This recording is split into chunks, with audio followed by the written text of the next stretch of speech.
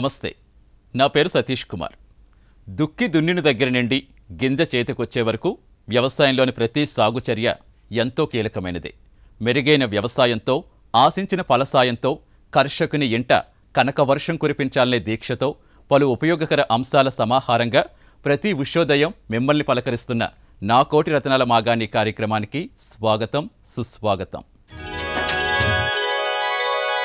ఈనాటి కార్యక్రమంలోని ముఖ్య అంశాలు. వ్యవసాయ సమాచారం. వాతావరణ సూచనలు. మార్కెట్ ధరలు. వరిలో సుడిదోమ నివారణ. మొక్కజొన్న కోత సమయంలో తీసుకోవలసిన జాగ్రత్తలు. వరి సాగులో మేలైన యాజమాన్య పద్ధతులు. ముందుగా సమగ్ర వ్యవసాయ సమాచారం. వాతావరణ ఆధారమైన వ్యవసాయ సలహాలు. వరి ప్రస్తుత వాతావరణ పరిస్థితుల్లో వరిలో బ్యాక్టీరియా ఎండాకు తెగులు సోకటానికి అనుకూలం. తొలి దశ వ్యాప్తి నివారణకు మురుగునీటిని తీసివేసి సున్నా పాయింట్ నాలుగు గ్రాముల అగ్రిమైసిన్ లేదా సున్నా పాయింట్ రెండు గ్రాముల ప్లాంటోమైసిన్ మందును ఒక లీటర్ నీటికి కలిపి పిచికారీ చేయాలి. ప్రస్తుత వాతావరణ పరిస్థితులు వరిలో తాటాకు తెగులు మరియు కాండం తొలచు పురుగు ఆశించటానికి అనుకూలం. పురుగు మరియు తెగులు గమనించినట్లయితే నివారణకు తాటాకు తెగులు నివారణకు రెండు మిల్లీలీటర్ల ప్రొఫ్నోఫాస్ లేదా రెండు పాయింట్ ఐదు మిల్లీలీటర్ల క్లోరిపైరిఫాస్ మందును లీటరు నీటిలో కలిపి పిచికారీ చేయాలి. కాండం తొలుచు పురుగు నివారణకు పది కిలోల కార్బోఫ్యూరాన్ త్రీ జీ గుళికలు లేదా నాలుగు కిలోల ఫోరెట్ గుళికలను నాటిన పదిహేను నుంచి ఇరవై రోజుల తర్వాత ఎకరా పొలంలో వేసుకోవాలి. మొక్కజొన్న. మొక్కజొన్నలో కత్తెర పురుగు ఆశించినట్లుగా గమనించడమైంది.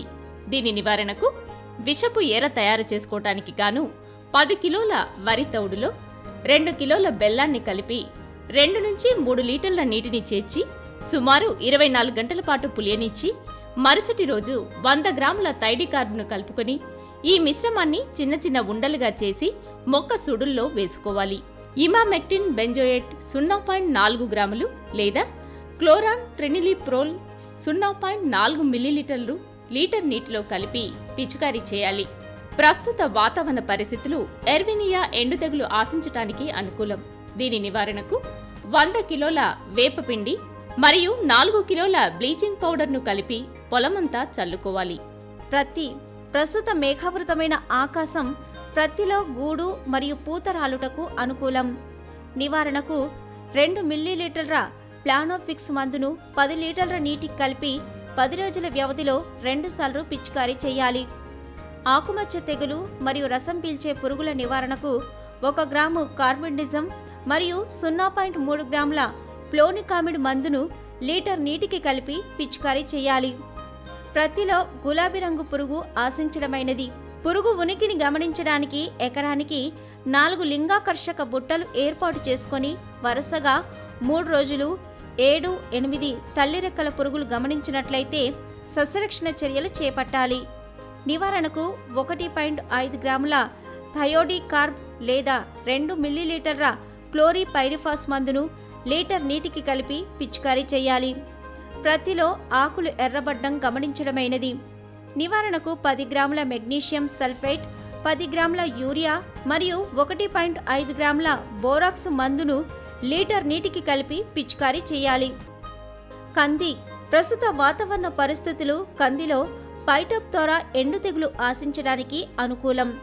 తెగులు గమనించిన చోట నివారణకు మూడు గ్రాముల కాపర్ యాక్సిక్లోరైడ్ మందును ఒక లీటర్ నీటికి కలిపి మొక్క మొదళ్ళను పూర్తిగా తడిపి తెగుళ్ళ వ్యాప్తి నివారించుకోవచ్చు. సోయా చిక్కుడు. ప్రస్తుత వాతావరణ పరిస్థితులు సోయా చిక్కుడులో ఆకుమచ్చ తెగులు ఆశించటానికి అనుకూలం. నివారణకు రెండు పాయింట్ ఐదు గ్రాముల కార్బన్డిజం మరియు మ్యాంకోజెబ్ మందును లీటర్ నీటికి కలిపి పిచుకారీ చేయాలి. కూరగాయలు.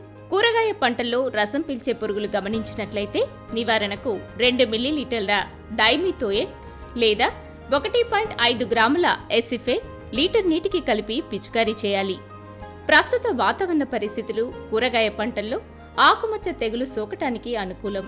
తెగులు నివారణకు ఒక గ్రామ్ కార్బండిజం లేదా ఒక మిల్లీలీటర్ ప్రొపినోకొనజోల్ మందును లీటరు నీటిలో కలిపి పదిహేను రోజుల వ్యవధిలో రెండుసార్లు పిచికారీ చేయాలి.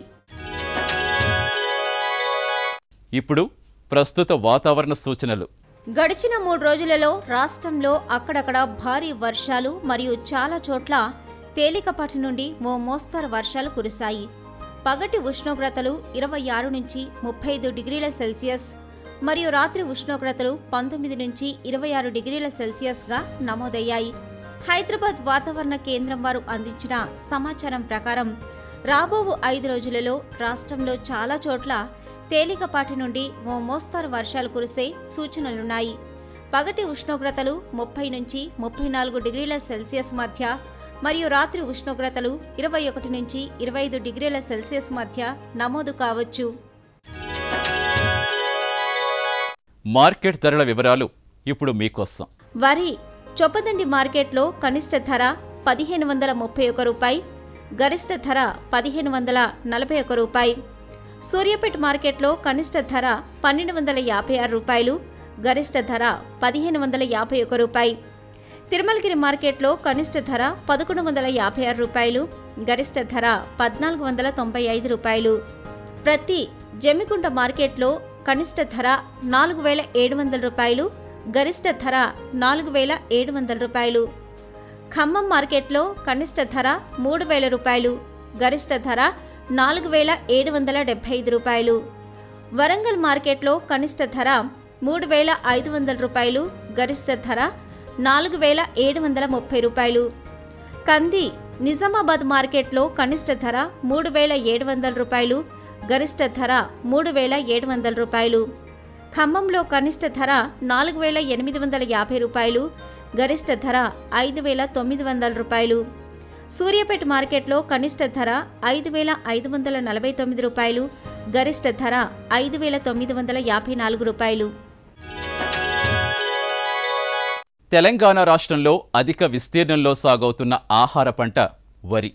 వానాకాలం సాగవుతున్న వరి పంట ప్రస్తుతం దాదాపుగా నలభై నుంచి యాభై రోజుల వయసులో పిలక దశలోనూ చిరుపొట్ట దశలోనూ ఉంది. ప్రస్తుతం నెలకొంటున్న అధిక ఉష్ణోగ్రత వ్యత్యాసాల దృష్ట్యా ఈ సెప్టెంబర్ అక్టోబర్ మాసాల్లో వరి పంటలో సుడిదోమ ఆశించి విపరీతమైన పంట నష్టం జరిగే అవకాశం ఉంటుంది. కాబట్టి రైతు సోదరులు అప్రమత్తంగా ఉండి సుడిదోమ ఉనికిని గుర్తించి వెంటనే నివారణ చర్యలు చేపట్టాలి. వరిలో సుడిదోమ నివారణ వివరాలు ఇప్పుడు మీకోసం.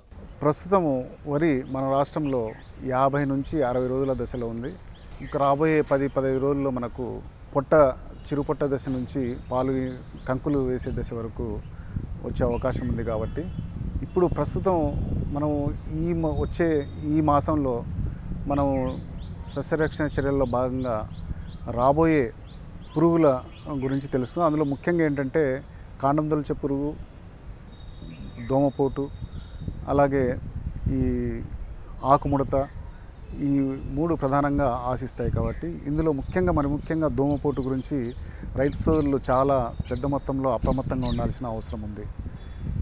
మనకు ఈ అధిక పగటిపూట అధిక ఉష్ణోగ్రతలు వాత రాత్రిపూట తక్కువ ఉష్ణోగ్రతలు అట్లాగే మేఘావృతమైనటువంటి వాతావరణము అధిక వానల వల్ల మనకు ఈ సుడిదోమ ఆశించే అవకాశాలు ఎక్కువ ఉన్నట్లు కనిపిస్తున్నాయి కాబట్టి రైతు సోదరులు సుడిదోమ గురించి చాలా అప్రమత్తంగా ఉండాల్సిన అవసరం ఉంది. ఈ సుడిదోమ అంటే రెండు రకాలు ఉన్నాయి. ఇందులో తెల్లవీపు సుడిదోమ అలాగే బ్రౌన్ కలర్ సుడిదోమ. ఈ రెండు కూడా ఆశిస్తాయి. అందులో మనకు ముఖ్యంగా ఖరీఫ్లో మనకు ఈ బ్రౌన్ కలర్ సుడిదోమ మనకు ఎక్కువగా ఆశించడం జరుగుతుంది. దీనివల్ల నష్టస్థాయి మనం నెగ్లెక్ట్ చేసినట్లయితే దీని నష్టస్థాయి ముప్పై నుంచి ఎనభై శాతం వరకు కూడా కొన్ని సందర్భాల్లో జరిగింది. గత రెండు మూడు సంవత్సరాల్లో ఇది వాస్తవ రూపంలో మనం చూసాం కూడా. కాబట్టి రైతు సోదరులు ఈ పురుగు ఉద్ధృతి గురించి జాగ్రత్తల్లో భాగంగా మొట్టమొదట ముఖ్యంగా చేయవలసిన పనులు ఏంటంటే పురుగు ఉద్ధృతిని ఈ సుడిదోమను పొలంలో దిగి దుబ్బు అంటే మన నీరు పెట్టిన నీరు పైన అంచు భాగంలో ఉండే దుబ్బులను లేకపోతే ఈ కర్రలను మనము ఎప్పటికప్పుడు గమనిస్తూ ఉండాలి. ప్రతి దుబ్బుకు పది నుంచి పదహైదు సుడిదోమ పిల్లలు కానీ గమనించినట్లయితే మన పొలంలో ఈ సుడిదోమ ఆశించే అవకాశం ఉందనేది గుర్తు చేసుకొని దానికి తగినట్లుగా మనం తగు చర్యలు తీసుకోవాలి. ముఖ్యంగా సుడిదోమను అరికట్టడానికి రైతులు తీసుకోవాల్సినటువంటి ముఖ్య కార్యక్రమాల్లో ఒకటి మనం పంట నాటు వేసేటప్పుడు కాలిబాటలు తీసుకోవడము అట్లాగే ఈ యూరియా తక్కువ మోతాదులో వాడము ఈ తక్కువ మోతాదును కూడా దశల వారీగా రెండు నుంచి మూడు దశలవారీగా దశల వారీగా యూరియా ఎరువులను వాడడము. అట్లాగే మనకు నీటిని ఎప్పుడు కంటిన్యూస్గా ఉంచకుండా రెండు మూడు రోజులకు ఒకసారి నీటిని తీసి ఆరబెట్టడము. ఈ మూడు కార్యక్రమాలు చేయడం వల్ల మనం దాదాపు ఈ సుడిదోమను అరికట్టవచ్చు. అట్లాగే సుడిదోమను తట్టుకునే రకాలు కూడా దాదాపు RNR fifteen zero four eight లాంటి రకాలు సుడిదోమను తట్టుకునే రకాలు ఉన్నాయి ఇది కూడా కొంతవరకు దోహదం చేస్తుంది కాబట్టి మనం చిన్న చిన్న పురుగులను గమనించిన వెంటనే తక్కువ మోతాదు ఖర్చుతో కూడుకున్నవి కానీ లేకపోతే ఫస్ట్ గ్రేడ్ లాంటి కెమికల్స్ అంటే అస్ఫేటు అలాగే థయోమితాగ్జామ్ తొలి దశలో అయితే థయోమితాగ్జామ్ యాభై గ్రాములు ఎకరాకు అలాగే అసిఫేటు మూడు వందల అరవై గ్రాము అరవై గ్రాములు ఎకరాకు తొలి దశలో కనుక పిచికారీ చేసుకుంటే మనకి ఉద్ధృతిని తగ్గించుకోవచ్చు. రెండవది ఏంటంటే సుడిదోమ ఉద్ధృతి ఎక్కువ అయినప్పుడు మనకు మిగతా ఫ్రెష్గా ఉన్నటువంటి పొలాల్లోకి కూడా పాకే అవకాశం ఉంటుంది. ఉద్ధృతి ఎక్కువ అయినప్పుడు ఈ ఈ వరి యొక్క పిలకలు అన్నీ కూడా గడ్డిలాగా ఎండిపోయి మనకు సుడులు సుడులుగా దూరం నుంచి చూస్తేనే సుడులు సుడులుగా మనకు కనపడుతుంది. దీన్ని సుడులను చూసిన వెంటనే మనం ఈ ప్రాంతంలో ఈ సుడిదోమ ఉధృతిగా వచ్చిందని మనకు తెలిసిపోతుంది. సో ఇటువంటి సమయంలో ముఖ్యంగా ఏంటంటే ఎథోపెన్ ఫ్రాక్స్ బూప్రోఫాజిన్ అట్లాగే ఇప్పుడు కొత్తగా వచ్చినటువంటి డైనోటెఫ్యురాన్ అలాగే ఫ్లోనికామిడ్ లాంటి మందులు చాలా ఎక్సలెంట్గా పనిచేస్తాయి. ఫ్లోనికామిడ్ అయితే మనకు ఎకరాకు ఎనభై గ్రాముల చొప్పున అట్లాగే ఎథోఫెన్ ప్రాక్స్ అయితే మనకు నాలుగు వందల మిల్లీ లీటర్ల చొప్పున ఎకరాకు పిచికారీ చేసుకోవాలి. ఇవే కాకుండా మనకు మందుల మిశ్రమాలు అంటే imidacloprid plus ethofenprox acephate plus imidacloprid అలాగే ఫిప్రోనిల్ ప్లస్ బూప్రొఫాజిన్ లాంటి మందులు కలిపి మనకు మార్కెట్లో దొరుకుతున్నాయి కాబట్టి ఇటువ ఇటువంటి మందులను మనం తెలుసుకుని పిచికారీ చేయాలి. చేస్తే మనకు తగ్గుతుంది. ఇంకొక ఇందులో ముఖ్యంగా ఏంటంటే చాలామంది రైతులు ఈ పురుగు మందులను పై పైన పిచికారీ చేస్తూ ఉంటారు. అలా చేయకూడదు. మనం ఈ కాండము దగ్గర గనక మనం పిచికారీ చేసినట్లయితే ఈ పురుగు ఉద్ధృతిని సమర్థవంతంగా అరికట్టవచ్చు. రాష్ట్రంలో సాగవుతున్న ఆహార ధాన్యపు పంటల్లో వరి తర్వాతి స్థానం మొక్కజొన్నదే. సాధారణ మొక్కజొన్న తీపి మొక్కజొన్న పేలాల మొక్కజొన్న వంటి వివిధ రకాలను సాగు చేస్తున్న రాష్ట్ర రైతాంగం పంట పక్వదశను సకాలంలో గుర్తించి కోతల సమయంలో తగిన జాగ్రత్తలు వహించినట్లయితే నాణ్యమైన అధిక దిగుబడులు పొందవచ్చు. మొక్కజొన్న కోత సమయంలో తీసుకోవాల్సిన జాగ్రత్తల గురించి ఇప్పుడు తెలుసుకుందాం. మనకు మొక్కజొన్నలో చూసినట్టయితే అధిక దిగుబడులతో పాటు నాణ్యమైన దిగుబడి రావాలంటే రైతులు కొన్ని ముఖ్యమైన సూచనలు పాటించాలి.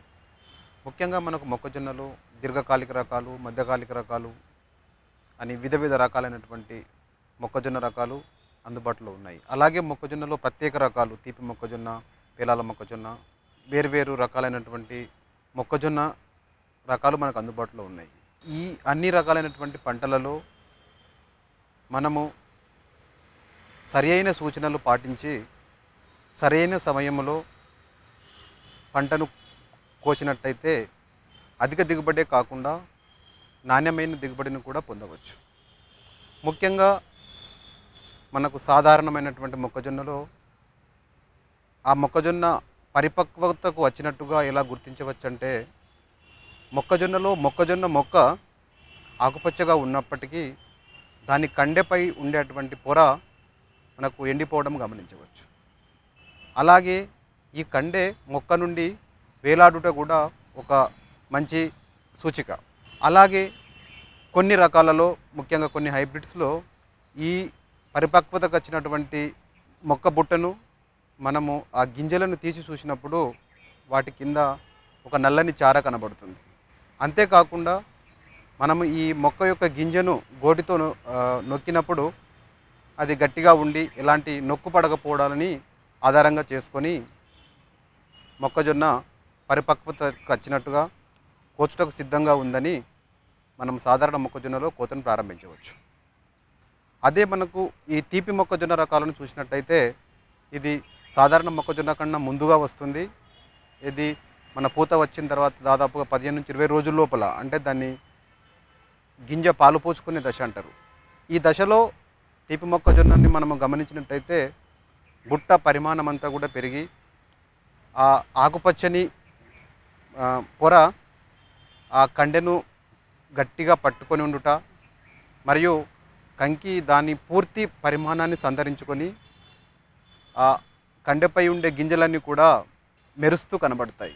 ఇలాంటి గింజలను మనము గోటితో నొక్కినట్టయితే వాటి నుంచి పాలు రావడం గమనించవచ్చు. ఈ సమయాన్ని చాలా అనుకూలమైన సమయంగా భావించి మనము తీపి మొక్కజొన్నగా దాన్ని తెంపుకున్నట్టయితే మంచి రుచితో పాటు మంచి మార్కెట్ దొరుకుతుంది. అలాగే మనము పాప్కార్న్ చూసినట్టయితే ఈ పాప్కార్న్ దాదాపుగా మనకు సాధారణమైనటువంటి మొక్కజొన్న మాదిరే ఇది మొత్తం మన కండపై ఉండేటువంటి పొరంతా కూడా ఎండిపోయి ముక్కపై ఉండేటువంటి కండలు వేలాడుట గమనించినప్పుడు కోసుకోవాలి. అదేవిధంగా పశుగ్రాసంగా మొక్కజొన్నని సాగు చేసినప్పుడు మాత్రము అది మొక్కజొన్న ఇది ఫిఫ్టీ పర్సెంట్ ఫ్లవరింగ్ అంటారు. ఆ సమయంలో మనం మొక్కజొన్నని కోసుకున్నట్టయితే పశువులకు మంచి న్యూట్రిషన్ ఇవ్వడమే కాకుండా అధిక దిగుబడి కూడా రావడం జరుగుతుంది. ఇవి కాకుండా మన అతి ముఖ్యమైన రకము బేబీ కార్న్ కూడా. ఈ బేబీ కార్న్లో కూడా రైతులు తప్పకుండా తగు జాగ్రత్తలు పాటించాలి. ముఖ్యంగా ఈ బేబీ కార్న్లో మనకు ఒక రెండు మూడు రోజులు లేట్ చేసినా కూడా ఈ బేబీ కార్న్ మన మార్కెట్కు పనికి రాకుండా తయారయ్యే అవకాశం ఉంది. ఇది మనకు పీచు రెండు నుంచి మూడు సెంటీమీటర్లు ఉన్నప్పుడు సరైన దశగా భావించవచ్చు. ఆ రోజు నుంచి రెండు మూడు రోజుల వరకు మాత్రమే దానిలో చక్కెర శాతం కానివ్వండి తీపిదనము కానివ్వండి ఒక సరైన మోతాదులో ఉంటాయి. కాబట్టి పీచు వచ్చిన రెండు మూడు రోజులు లేదా పీచు రెండు నుంచి మూడు సెంటీమీటర్లు ఉన్నప్పుడు బేబీ కార్న్గా మొక్కపై ఉన్నటువంటి పై కండలను ముందుగా తీసి మార్కెట్కి పంపించాలి. ఈ విధంగా చేసినట్టయితే మంచి మార్కెట్ దొరికే అవకాశం ఉంది. అయితే సాధారణ మొక్కజొన్నలో చూసినట్టయితే మరొక ముఖ్యమైన విషయం ఏమిటంటే కోసే ముందు దాని యొక్క మాయిశ్చర్ పర్సెంట్ అంటే దానిలో ఉండే నీటి శాతాన్ని కూడా తప్పకుండా మనం లెక్కలోకి తీసుకోవాలి. సాధారణ మొక్కజొన్నకు ఇరవై శాతం నుంచి ముప్పై శాతం మధ్య దాని యొక్క మాయిశ్చర్ ఉన్నప్పుడు మొక్కల నుండి కండెలను వేరు చేసి ఒక వారం నుంచి అంటే ఫైవ్ సిక్స్ డేస్ కండెలను ఎండిపించినట్టయితే నూర్పిడికి అనుకూలంగా ఉంటుంది. మొక్కజొన్న కండెలో ఉండేటువంటి గింజలలో మనకు పన్నెండు నుంచి పదిహేను శాతం మధ్య ఈ తేమ చేరుకున్నప్పుడు మనం నూర్పిడి చేసుకోవాలి. ఆ నూర్పిడి చేసుకున్న తర్వాత కూడా మరికొంత ఒక రెండు మూడు రోజుల పాటు ఈ గింజలను మనం ఎండబెట్టుకున్నట్టయితే వాటిలో ఉండేటువంటి నీటి శాతము తొమ్మిది నుంచి పది శాతానికి తగ్గి అవి మనకు ఎక్కువ కాలం నిల్వ ఉంచుకోవడానికి అనుకూలంగా ఉంటాయి. అంతేకాకుండా నాణ్యమైన విత్తనం కూడా దొరుకుతుంది. వరి పంట మన రాష్ట్రంలో అన్ని కాలాల్లోనూ పండించే ప్రధానమైన ఆహారధాన్య పంట.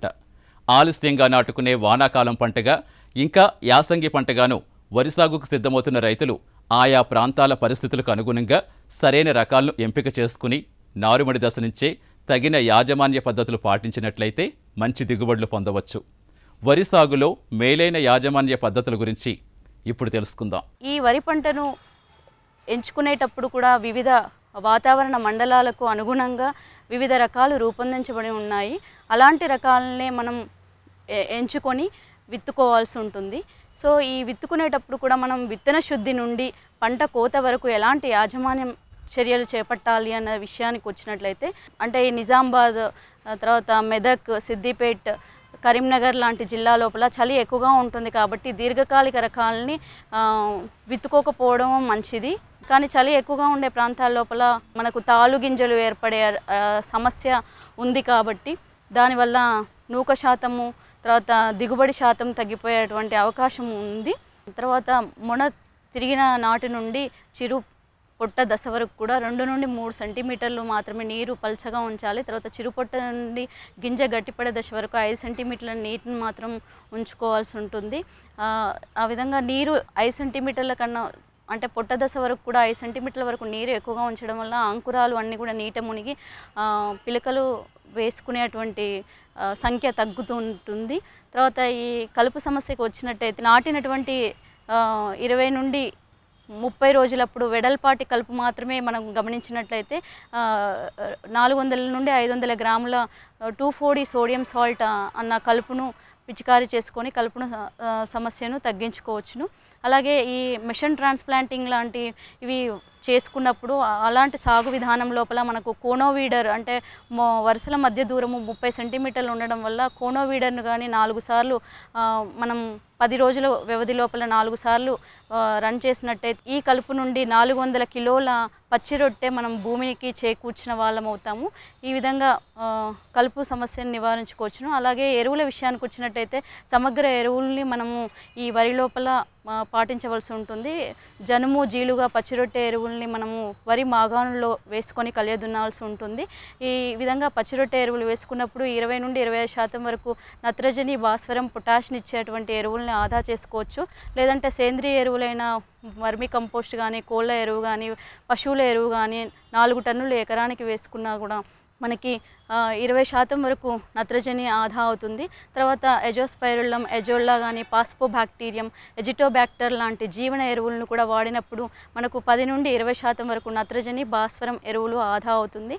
ఈ విధంగా సమగ్ర సేంద్రియ ఎరువులతో పాటుగా సమగ్రంగా మనం రసాయన ఎరువులైన యూరియా పొటాష్ భాస్వరం ఎరువులను కూడా వేసుకున్నట్లయితే మంచి భూసారం పెరుగుతుంది. అలాగే ఉత్పాదకతలో ఉన్నటువంటి స్తబ్దత కూడా మనము అధిగమించవచ్చును.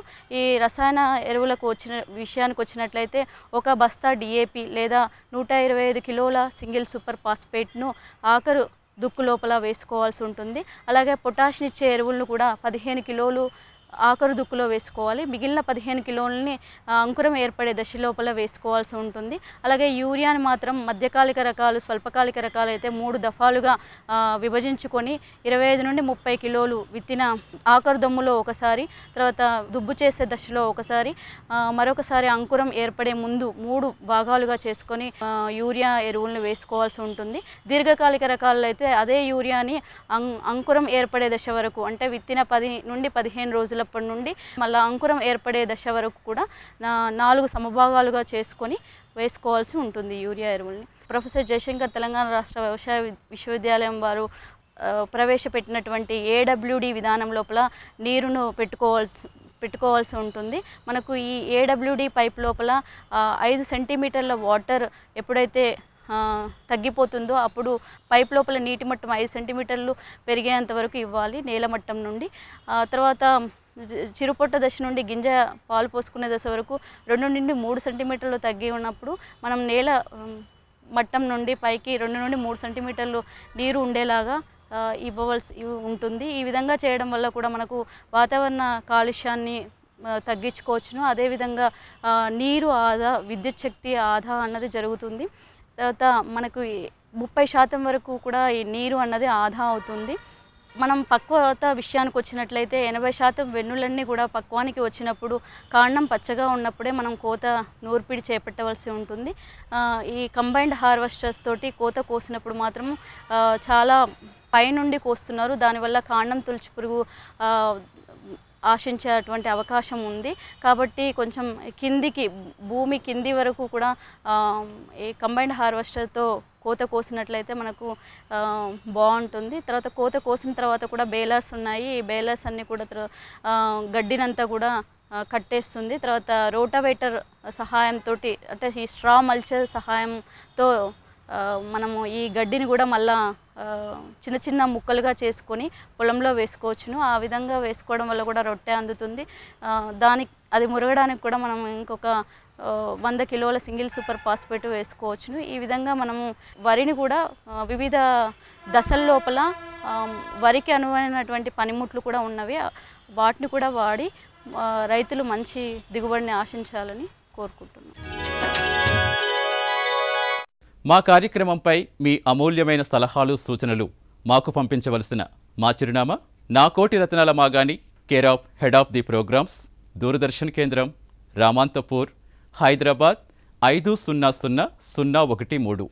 మా ఈమెయిల్ ఐడి నా కోటి రత్నాల మాగాని ఎట్ జీమెయిల్ డాట్ కామ్ ఇది ఈనాటి నా కోటి రత్నాల మాగాని కార్యక్రమం. మరో కార్యక్రమంలో మళ్ళీ కలుద్దాం. నమస్తే.